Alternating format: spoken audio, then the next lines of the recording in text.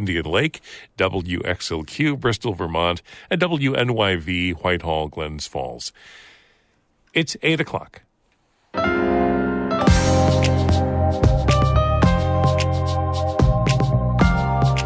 Good morning. This is Northern Light for Friday, January 12th. I'm Todd Moe. Monica Sandreczki is back next week. Governor Hochul releases her new state budget in just a few days amid a multi billion dollar deficit. State Controller Tom DiNapoli says revenue collections are uneven, the economy is volatile, and he's nervous. We've been kind of flashing that yellow light of caution for a while, so I would still flash uh, that yellow light. The state says a solar company's application for a solar energy and battery storage site in Canton has been completed. Local officials will now have their chance to ask questions and raise concerns. We want our voices to be heard in the process. We want our local laws, particularly our solar law and our battery energy storage law and our zoning law, to be incorporated into the conditions for the permit. 51 contestants have been competing in the Miss America pageant this week. One of them has North Country roots. Yamuna Turco is Miss Vermont. I'm just proud to represent everyone that I know and everyone that I will meet. And I know that at Miss America, I'm just going to do my best and I'm going to bring that perspective with me and be able to broaden my perspective and share it with other people. The winner will be crowned Miss America on Sunday night. And John Warren checks outdoor conditions as we head into a potentially snowy winter weekend. All that's coming up in Northern Light. Stay tuned. Broadcast of Northern Light here on North Country Public Radio is supported by the Depot Theater in Westport, inviting all to take a journey without leaving the station. Learn more at depottheater.org. And SeaComm Credit Union, serving the financial needs of people throughout northern New York and northwestern Vermont in person, online at seacomm.org and on your smartphone.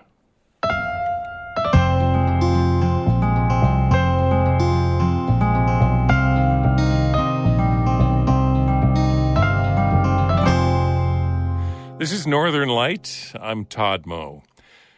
More than 120,000 low income children and pregnant women in New York State could be losing their food assistance dollars this year. The Special Supplemental Nutrition Program for Women, Infants, and Children, or WIC, provides nutritious food, breastfeeding support, and health care referrals to roughly 6.5 million participants nationwide.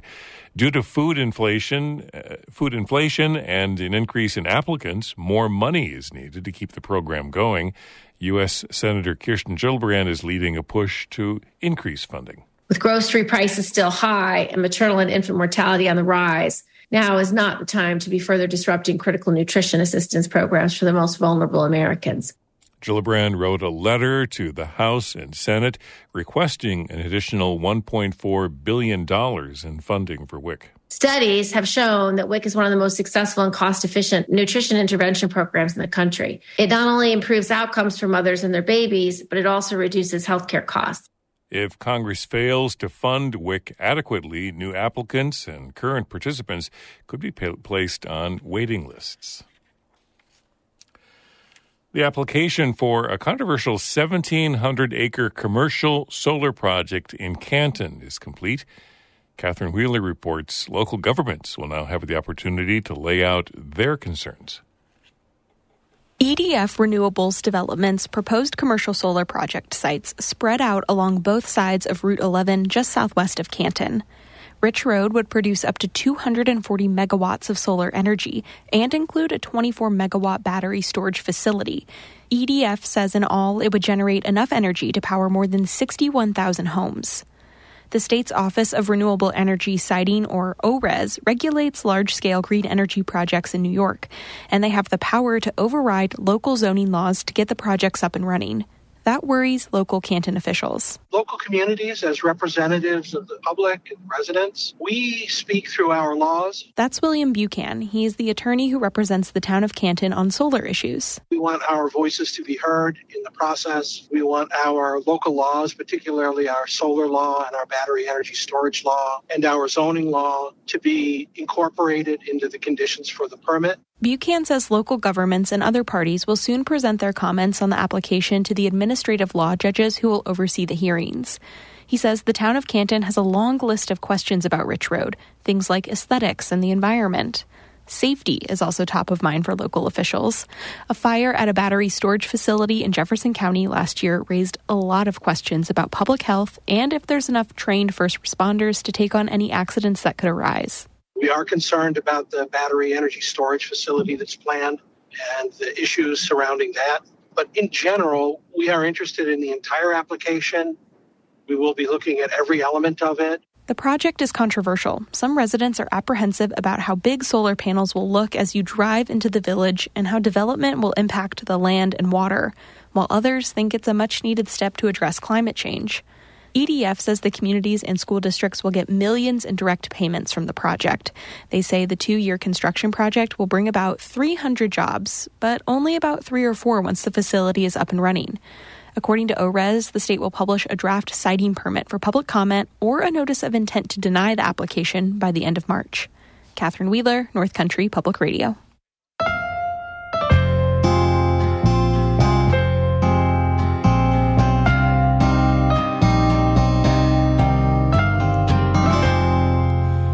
This week, Governor Hochul delivered her State of the State speech. Next week, she's due to release her 2024 budget plan. Hochul is expected to detail how she'll close a multi billion dollar budget gap and how to pay for the care of tens of thousands of asylum seekers who came to New York over the past year.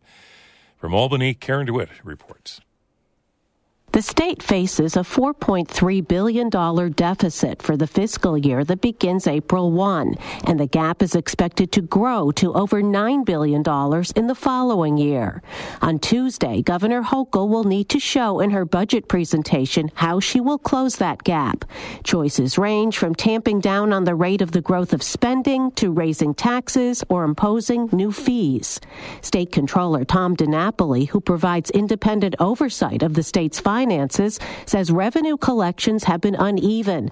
Tax collections are down from a year ago, and he says the economy is still volatile. We've been kind of flashing that yellow light of caution for a while, so I would still flash uh, that yellow light. He urges Hochul and the legislature to be careful managing the state's money this year. We have to make some tough choices on spending, be careful on taxation, and not resort to more debt. Hochul seems to agree with that advice. She told her state agencies last fall to hold the line on spending, and she said that she opposes calls from progressive lawmakers to increase taxes on the state's wealthiest residents. I'm not raising taxes in our budget this year. Taxes are high enough in the state of New York and we have to live within our means. There's one area of spending that the governor may not be able to avoid increasing, and that is taking care of the over 100,000 asylum seekers who have crossed the southern U.S. border and have been bused to New York from states including Texas. Hochul avoided talking about the migrant crisis during her State of the State speech, saying she's putting off that controversial topic until she releases her spending plan. Last year, the state spent nearly $2 billion to help ease the migrant crisis. And when the mid-year budget report was released in October, the governor said the spending rate was unsustainable. Her budget director, Blake Washington, recommended that the state consider limiting spending on legal aid support and caseworkers who help the migrants find jobs. But the governor has also said there will be more money spent to help the migrants in the new budget. Senate Deputy Majority Leader Mike Gianaris, who, like Hochul, is a Democrat, says the migrants are already in New York and need help, so the state will have to find a way to pay for it. The migrants are here, and uh, as long as they're here, we need to make sure uh, we provide for them as required by law and as required by humane values, which we have. So we'll do the best we can. Gianaris says New York will have to deal with the migrant crisis until the federal government does its job. The two biggest portions of the budget are health care and education. And in the past, when there have been multi billion dollar deficits, governors have trimmed money from school aid and Medicaid. Hochul, in the past two years, has fully funded what's known as foundation aid for schools. She finally fulfilled a nearly two decades old court order that required the state to spend billions of dollars more on its poorest schools. So far, though, the governor has only committed to spending an additional $10 million to improve reading scores. Regarding health care spending, the state will be getting some help from the federal government. It granted a waiver to allow New York to spend nearly 6 billion more dollars on health care over the next three years, targeted to financially struggling safety net hospitals, improving health equity, and funding more staff to ease ongoing shortages. Hochul's also said she'd like to use 200 million more dollars from the opioid settlement fund to help address the overdose crisis. In Albany, I'm Karen DeWitt for the New York Public News Network.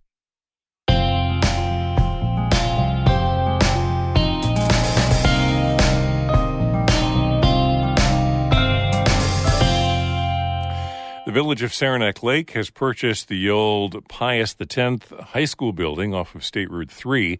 The village plans to build an emergency services hub on the 15 acre property with space for the village police department, the Saranac Lake Volunteer Rescue Squad, and the fire department. That's according to the Adirondack Daily Enterprise. Mayor Jimmy Williams said plans have not been finalized and that the village is still exploring funding options for the project. The village bought the property from a citizen advocates. The nonprofit runs an outpatient mental health and addiction clinic there. Citizen Advocates retains about six acres right next to the former Pius X building and will continue to run its clinic. A community organizer and key figure in the luge community in Lake Placid has died. Dmitry Feld was 68 years old. He was from Ukraine and moved to Lake Placid in the mid 80s to coach the USA luge team. Feld was known for his charitable work, including with the local youth center and for humanitarian efforts in Ukraine. According to the Adirondack Daily Enterprise, Feld single handedly raised more than $100,000 for the Ukrainian effort. In the early weeks of the war, he worked to hang Ukrainian flags in downtown Lake Placid. Feld spoke with reporter Emily Russell back in March of 2022. As soon as war started, and I talked to my friends, I was trying to figure out how to support them. I thought since Lake Placid, such an international village, had two Winter Olympic Games, and we have so many flags. I thought it would be very important to display our solidarity with Ukrainian people by displaying their flags. So I called mayor of village of Lake Placid, and I told him about this idea, and uh, he said that's a great idea, uh, but of course, since it's village or town, they have no money for this project. And I told them, don't worry about, it. I'll pay, I'll pay from my own pocket if I have to. But of course, my generous friends and at USA Luge and everywhere else, we was able to raise money to pay for flags and have enough money to keep sending back to Ukraine. I wonder what that was like. First of all, to put the flags up and then to hear from folks in the community who wanted to donate to the effort and donate to Ukraine. Well, you know, when I asked electric department, they were like, "No worry, we'll be right there." It was very emotional for for me, and when they was hanging first Ukrainian flag, it was great. But I was on the bottom, and the flag was on high on that pole. So I asked electric department if they can hoist me there, and they said sure. So here I was, right on the top of that pole, holding Ukrainian flag, and I was cool. It was really made me really connected to Ukrainian people that I was right there displaying that flag. Dmitry Feld speaking with North Country Public Radio back in March of 2022. Feld died earlier this week from cancer. He was 68 years old.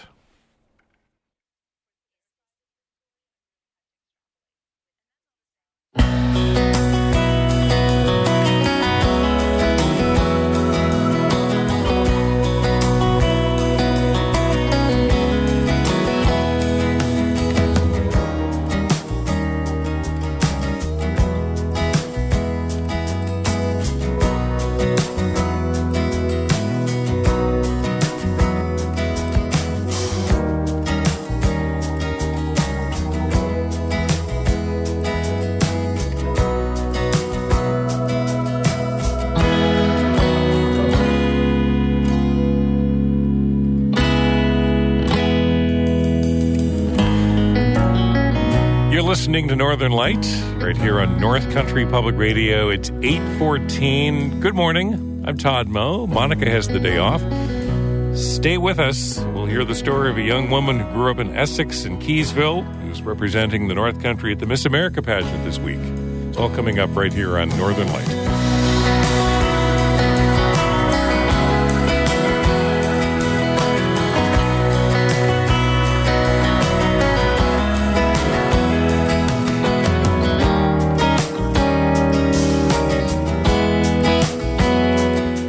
Music by the Curries out of Potsdam.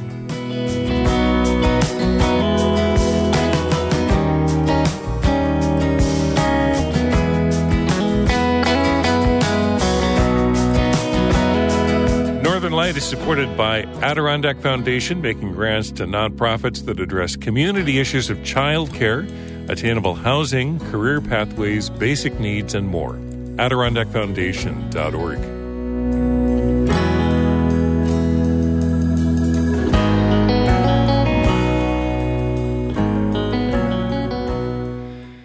This week in Orlando, 51 contestants have been competing in the Miss America pageant. And one of them has North Country roots. Yamuna, uh, Yamuna Turco grew up in Essex and Keeseville. She attended elementary and high school in Plattsburgh before graduating from Massachusetts boarding school. She's now a student at St. Michael's College in Vermont, which qualified her to compete for and win the title of Miss Vermont. Kara Chapman caught up with Turco about what it's been like to represent the Green Mountain State.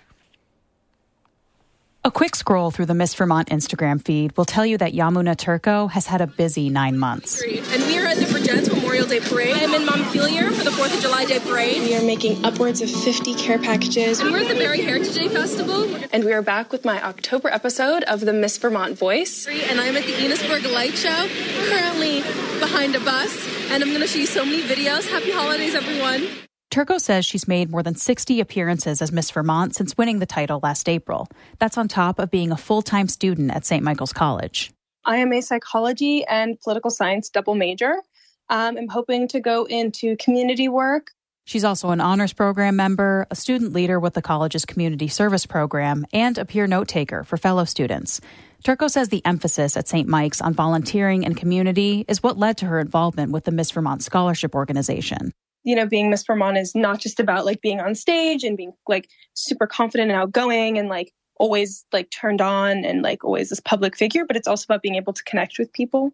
One of the requirements for the Miss Vermont and Miss America competitions is to create a community service initiative. Turco decided to focus on reading and called her initiative One Book, One Child. I seek to increase access to books and stories and help like foster a love of reading in kids. Turco says she's donated almost 400 books as Miss Vermont and talked to hundreds of elementary school kids about books and reading. She says she's found that often when kids don't like reading, it's because they don't have access to the books that they like. And once they have access to those books, they begin to fall in love with reading or maybe fall back in love with reading. Turco says her target age range for One Book, One Child is young elementary school students to early middle schoolers. She says that's when kids can struggle with reading, but also when they can find out what they enjoy about it. She says those are also the ages that reading opens so many worlds for her. I'm very fortunate that, you know, that my parents read to me, but because I am a first generation American, they read to me to connect me with the world around me. Turco's parents immigrated to the North Country from South Africa. She grew up in Essex before they moved to Keeseville, where they own a sheep and cattle ranch. So Turco was well prepared for all the agricultural events she's attended around the Green Mountain State. I love cows with my whole heart. Um, and to like be from a state that has so many cows and so many, like be able to attend so many agricultural based events and festivals was incredible for me. But she's also had to step out of her comfort zone. Miss Vermont attends the Lake Champlain International Fishing Derby every year. Turco learned about the weigh stations and prizes people get for catching the biggest fish. And that was probably the most surprising thing to me because I don't know a ton about fishing. Like I like fishing, but I'm not good at it. And learning about that was interesting, but it's also my favorite event probably because I had I kissed a fish. Turco says she loves Vermont. It's a place she'd like to live. But she says when she wears the Miss Vermont sash, she's representing people from the North Country and South Africa too. And so I'm just proud to represent everyone that I know and everyone that I will meet. And I know that at Miss America, I'm just going to do my best and I'm going to bring that perspective with me and be able to broaden my perspective and share it with other people. The Miss America competition started in Orlando earlier this week. Turco's family and some friends are there with her. She's gone through the interview process as well as the preliminaries, like evening gown and talent. Turco's talent is singing. Here she is at the 2023 Youth Talent Search in Enosburg Falls.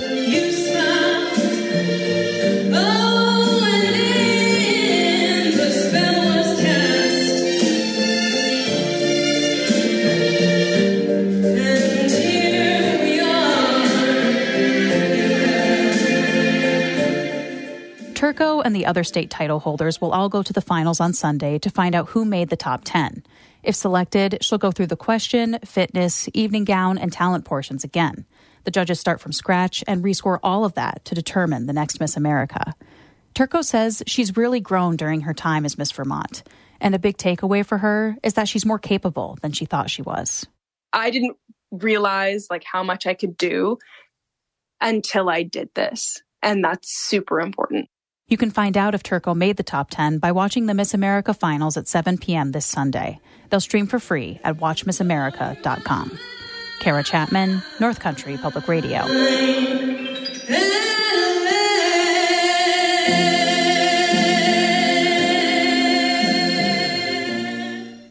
You can get more regional news, voices, conversations anytime on our website at ncpr.org.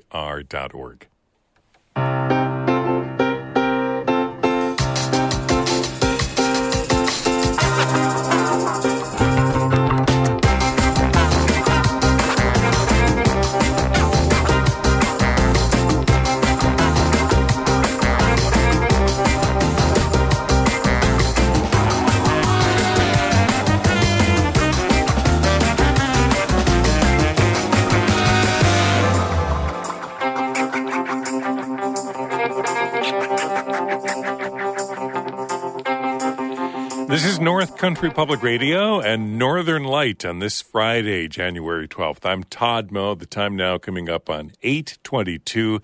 Thanks for listening. And uh, coming up in just a moment, John Warren checks outdoor conditions for the region uh, as we head into this weekend, trail conditions and so forth. Uh, we've got some music featuring High on the Hog. They're going to be featured at a couple of community dances later this month, and we'll check what else is happening around the region. Some special events, theater, and music coming up later this month.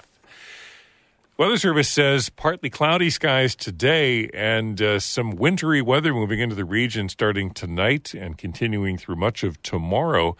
There is a winter storm warning in effect for primarily the Adirondacks, winter weather advisories elsewhere. So snow moving into all of our regions starting late tonight and continuing throughout uh, much of tomorrow, at least through the uh, the first half of tomorrow with maybe uh, up to half a foot of snow in some of the higher elevations by noon tomorrow. Uh, again, a winter weather uh, winter storm warning in effect uh, starting 10 o'clock tonight through noon tomorrow snow and some mixed precipitation expected. Uh, maybe some ice accumulations of a light glaze and wind gusts as high as 50 miles per hour. The winter storm warning is for the Adirondacks, the winter weather advisory for the rest of our region, again tonight through tomorrow. Strong winds and uh, snow and mixed pre- uh, precipitation expected uh, from late this evening through tomorrow afternoon. Right now in Canton, clouds and 21 degrees. And uh, John Warren checks outdoor, outdoor conditions uh, for the weekend. On Saturday, sunrise will be at about 7:29 and sunset at about 4:40. We now have at least 6 to 8 inches of snow most everywhere, with 8 to 12 inches at mid elevations and 3 feet or more at the highest elevations. The northwestern Adirondacks remains a bit thin at the moment, however, although more snow is expected around the region. Keep an eye on the forecast.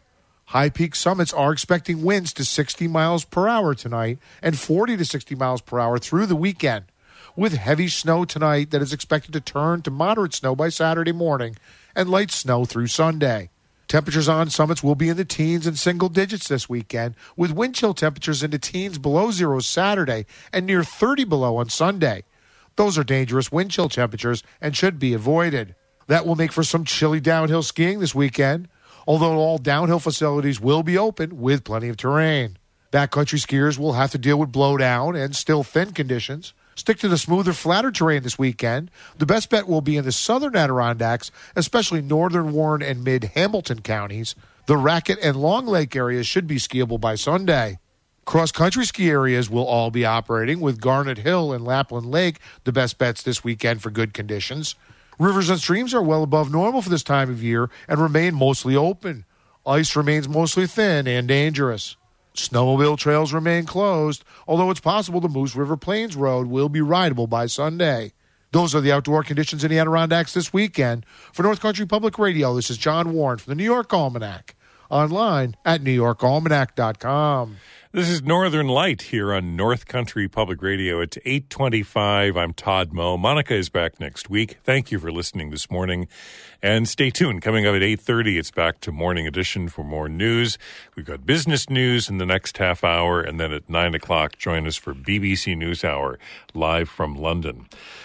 There is music and dance uh, to kick off this first month of the new year. Uh, Traditional Arts in upstate New York uh, kicks off their Cabin Fever concert series this winter with a community dance coming up Friday, January 19th. That's a week from tonight, 7 o'clock at TAUNY in downtown Canton, a community dance.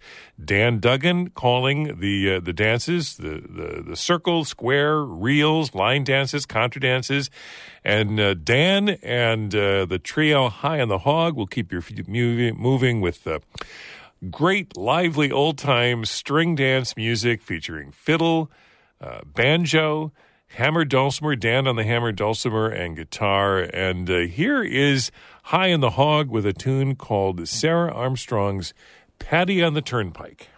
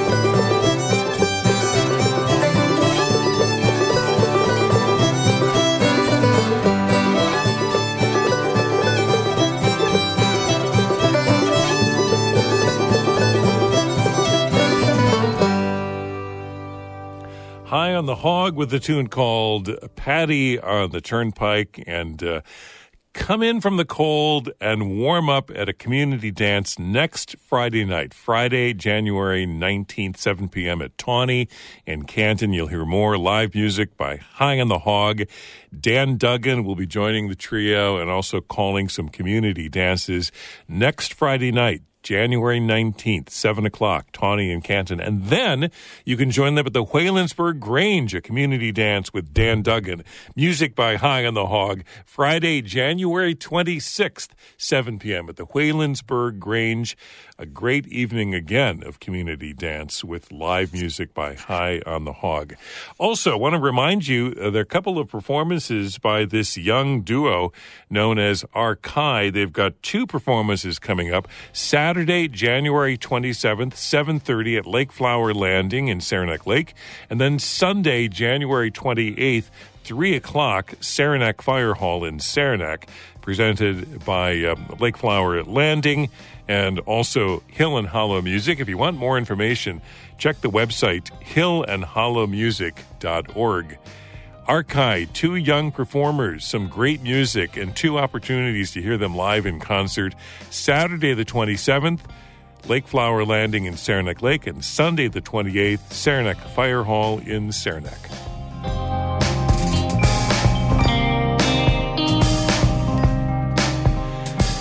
That's it for Northern Light for this Friday, January 12th. Thank you so much for listening. Stay safe this weekend I'm Todd Moe. Be well.